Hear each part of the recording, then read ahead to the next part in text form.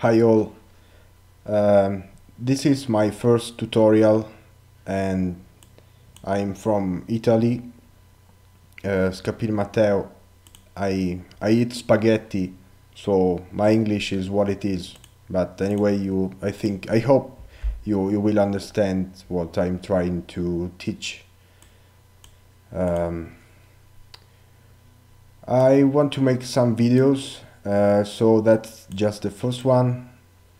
And then you will see and you will create your first fractal um, optimizing uh, remove all the noise all the stuff that you don't like from that fractal and coloring it in the right way with the with I mean you set the color that you want the texture and good light, shadows, um, some reflection, and you will have, uh, you will learn how to color it in your way.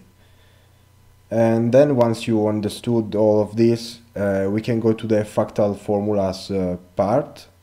Uh, we will see some basic fractal formulas like Menger sponge or Amazing Surf and some DA, DAFS ah, formulas. Uh, these are not fractal, but they can be turned into a fractal. Then we will see some 3D simple formulas based on the math and uh, finally combine more formulas together. Uh, this will became very complex and it's hard to explain how they work, but we will try to do this. Uh, later we will learn how to compo compose a scene. Um, it's because it's uh, rendering fractals. It's like uh, taking a photograph, a digital photo uh, of a shape, and you need to understand is that shape big or is small? Uh, what color do I need? Um, uh, select the right lights, the right colors.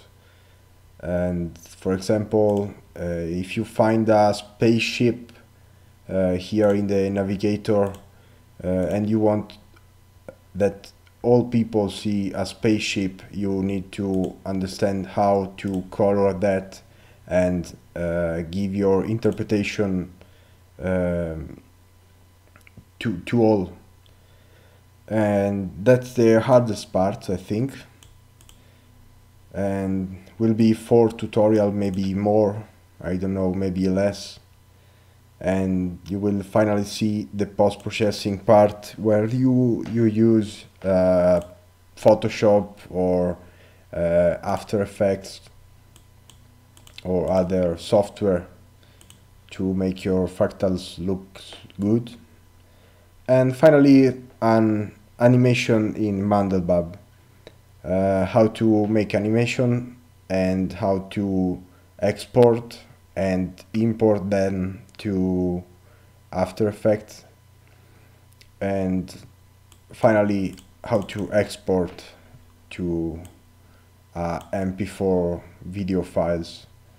Um, we will see you in the next tutorial creating your first fractal.